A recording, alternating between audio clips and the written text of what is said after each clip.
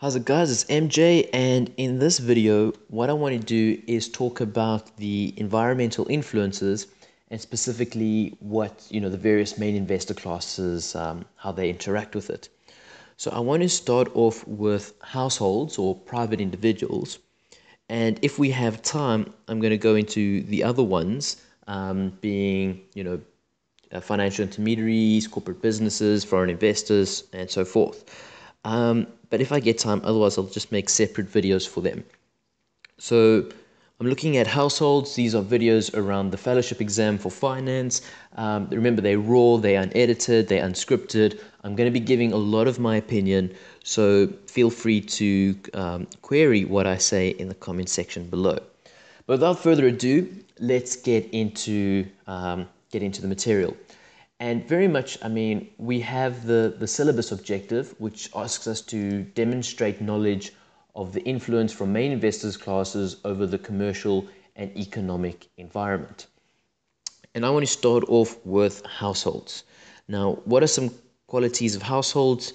Well, they're quite small in sense of their financial uh, influence. So small uh, financial influence, but there are many of them. So they, they might be individually quite small, but they there are many of them. Yeah.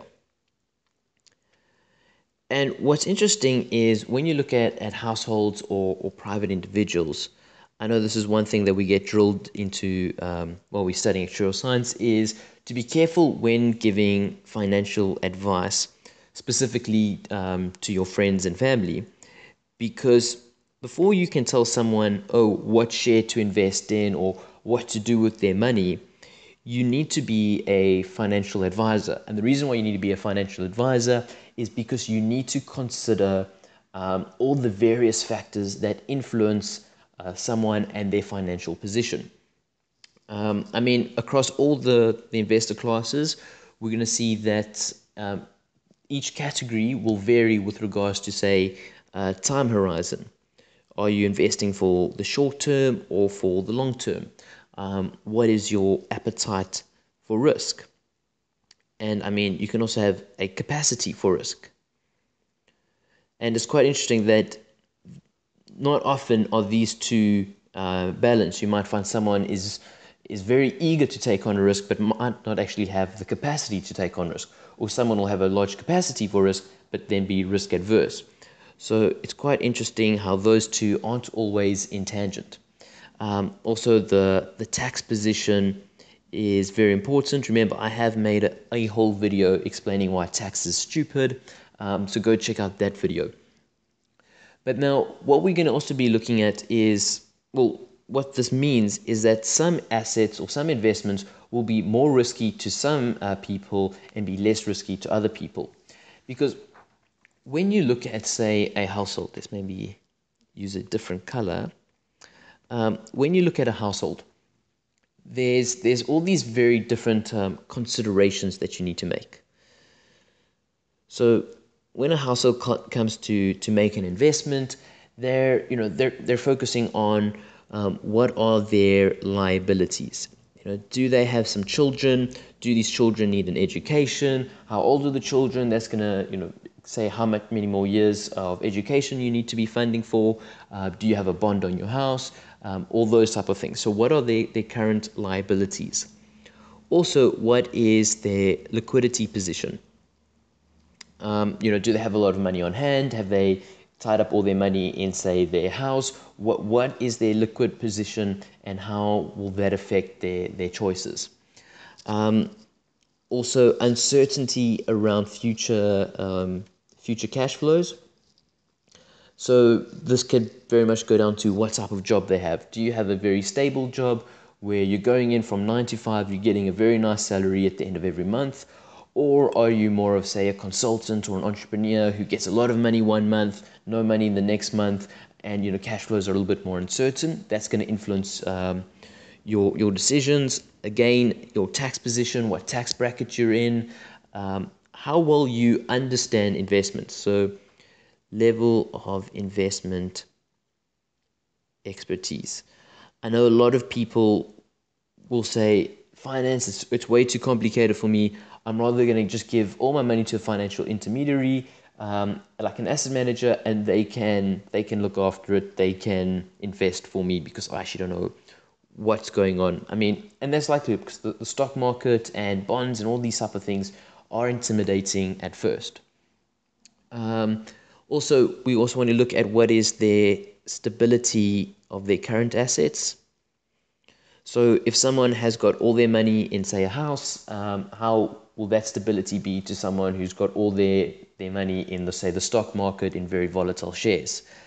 Um, another thing is the, the characteristics, so the investment and risk characteristics of uh, assets available. So, what I mean by that is someone might want exposure to the property market, but they might not be able to afford a brand new house or, or a part of a house, or there might not be any uh, financial um, instruments to give them you know, exposure to, to property.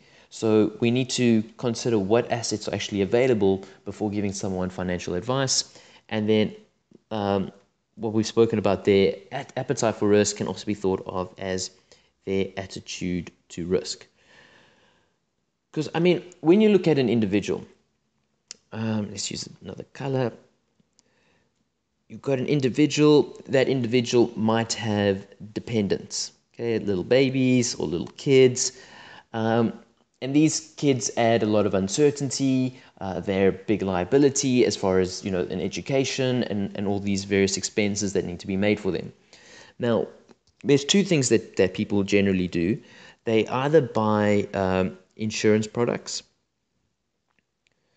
such as health insurance, life insurance, uh, and all those various things, and you know save towards uh, education annuities and all that type of stuff or they get uh, something known as like a nest egg, where they self-insure. So sometimes you see in the movies, people they you know they put a bunch of money in a jar, and then if anything bad happens, they use that nest egg to to pay off um, whatever um, bad event has happened.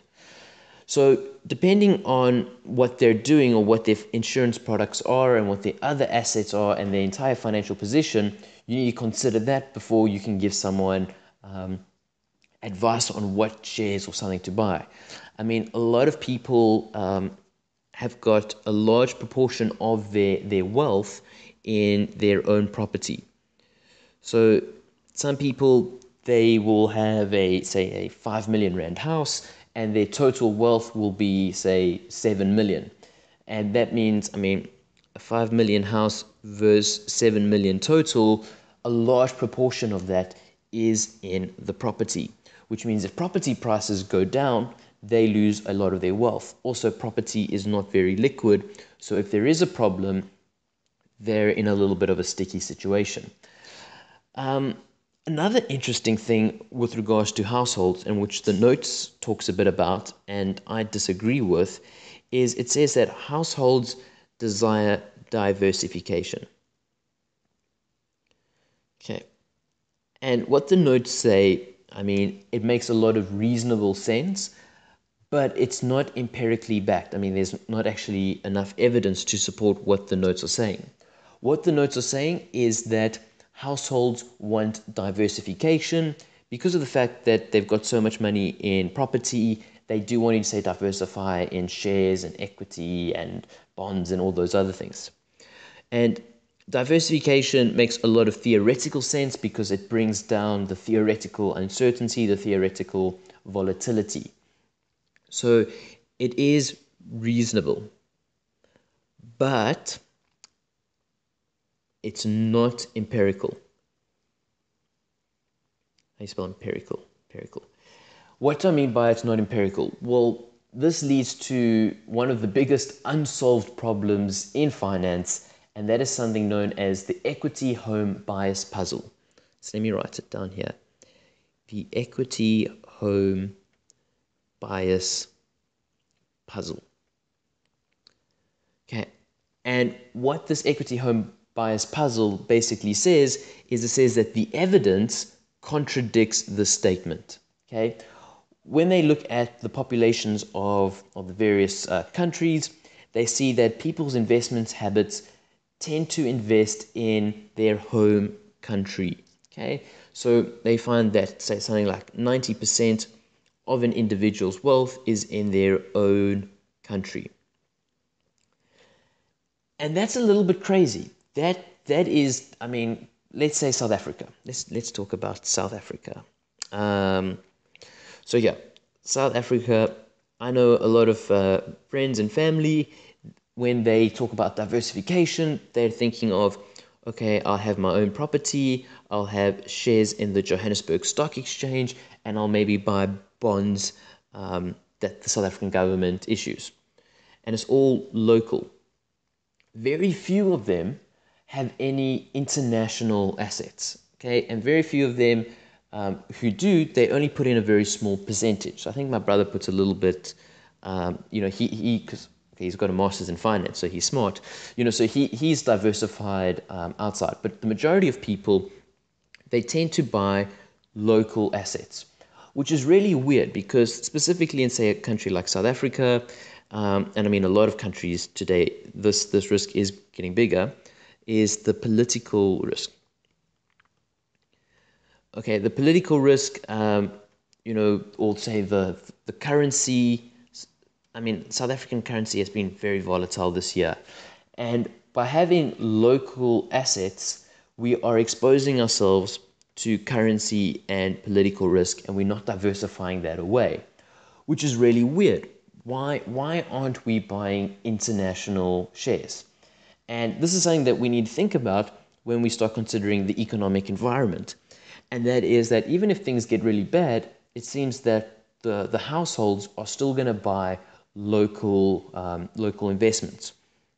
Now, one of the, the questions or one of the, the proposed solutions to this is that they say that capital is immobile.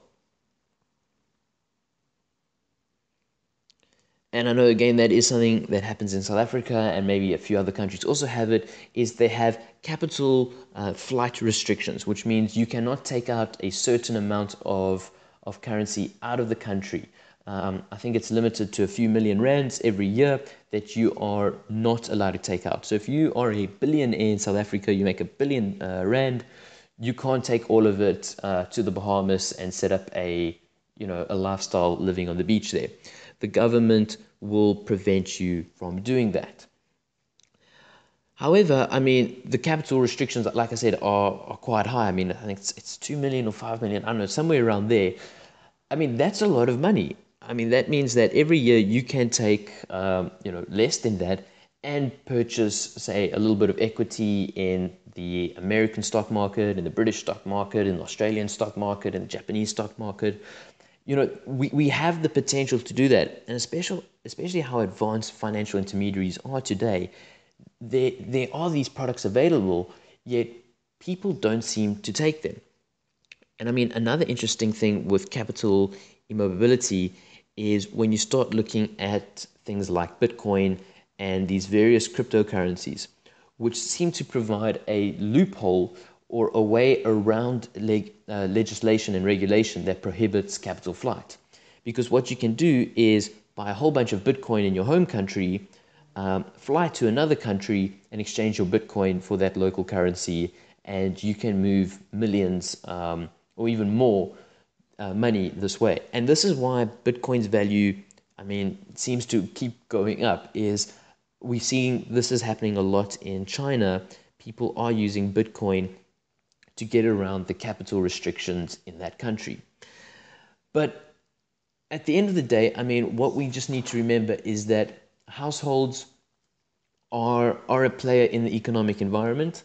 And though individually each person is, is small, there is a, a lot of them. And a lot of them, they can cause quite a lot of interesting things to happen. I mean, one of the big things is bubbles. So what happens here is it becomes, say, fashionable to invest in, say, private equity startups or something like that. And people, you know, herd mentality and all those various things, they want to get in on the action. And we might see a lot of people buying into these assets that overvalues them. So one way you can make money in the stock market or in the asset uh, world is if you have a good understanding of what households want, what are households buying, and what is that doing to the price? Does that make the, let's say households all want government bonds. Let's say that's the flavor of the month. If you know that and you have the data that shows households are buying, um, you know, an obscene amount of government bonds, then you know that the government bond value is going to be overpriced and that you should either short that bond or not enter it into a long position uh, and rather look at other assets. Because remember, households do not have the you know investment expertise. There is a lot of irrational behavior um, behind them, and like I mentioned, there is this thing known as herd mentality. And yeah, it's it's quite interesting. I mean, when you go into the whole household, um, what they're doing and what what you know assets they're enjoying and all that type of stuff. And I mean, one way you can find that out is by doing a survey. Although I know some people do you get uncomfortable when disclosing what assets they have and what their investment habits are. But at the end of the day, what we're going to be seeing is that whoever has the most data um, can actually make money in the stock market. And the reason why data is so important is because sometimes the theory will say things like diversification is good, it's what households want, but the data, the empirical evidence, will suggest otherwise. And that maybe open some opportunities, um, or it might, you know, help you with managing your very own risk. But overall, I think that's all I want to talk to you guys about on households. Um, if I think of anything else, I will throw it down in the comment section below. But let me know what your thoughts are, and I'll see you next time when we're talking about financial intermediaries. I think let me rather make a better video, uh, sorry, another video so that this one is not too long. But yeah, otherwise guys, thanks so much for watching. Hit subscribe. I will be releasing these videos daily. So yeah, stay in contact. Cheers.